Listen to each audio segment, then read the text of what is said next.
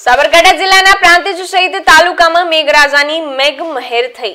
થોડા દિવસમાં સવા ચાર ઇંચ વરસાદ ખાબક્યો હતો, જેને લઈને નીચાણવાળા વિસ્તારોમાં પાણી ભરાયા હતા અને વરસાદને લઈને જનજીવન ઉપર અસર જોવા મળી હતી. પ્રાંતિજ સહિત તાલુકામાં મેઘરાની અસીમ કૃપા તથા પ્રાંતિજ ખાતે દોઢ દિવસમાં સવા ચાર ઇંચથી વધુ વરસાદ ખાબક્યો હતો અને સોમવારની સવારે પડી રહેલા વરસાદને લઈને જનજીવન ઉપર પણ અસર જોવા મળી હતી. તો ધીમી ધારે પડી રહેલા વરસાદને લઈને શાળા કોલેજોમાં રજા આપવાની ફરજ પડી હતી તો વરસાદ પડતા રેલવે સ્ટેશન વિસ્તારમાં આવેલા વૃંદાવન સોસાયટીમાં વરસાદી પાણીનો યોગ્ય નિકાલ ના હોય. સોસાયટીમાં કેળશમાં વરસાદી પાણી ભરાયું હતું. તો નગરપાલિકા દ્વારા જેસીબીની મદદથી પાણીનો નિકાલ કરવામાં કામે લાગી હતી. તો પ્રાંતિજ બજાર અને હનુમાન ચોક વિસ્તારમાં વરસાદી પાણી ભરાયું હતું. તો એસટી ડેપો પાસે તો એપ્રોચ રોડ માતૃછાયા સોસાયટી આગળ વરસાદી પાણી ભરાતા લોકોને હાલાકી પડી હતી. તો પ્રાંતિજની નાની ભાગોળ સબ જેલ પાસે તથા કહારવાસમાં પણ વરસાદી પાણી ભરાયું હતું અને ગટરો દ્વારા વરસાદી પાણી ન ખેંચાતું હોવાની રાહ પણ ઉઠી હતી. તો સબ જેલ પાસે રહેણાંકના મકાનોમાં પાણી ઘરોમાં ઘૂસતા પાણી ઉલેચવાનો વારો આવ્યો હતો તો ગાજ